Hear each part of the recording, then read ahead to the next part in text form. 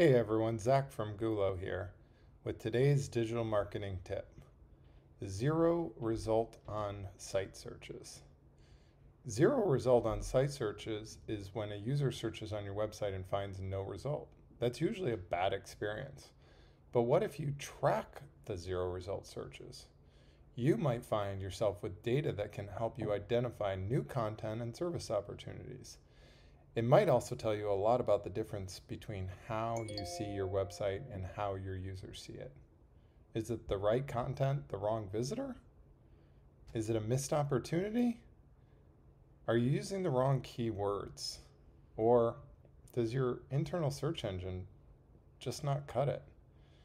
At the end of the day, zero search results on a site search can be very useful. And you can use your search software or Google Analytics to track this information. Good luck and have fun.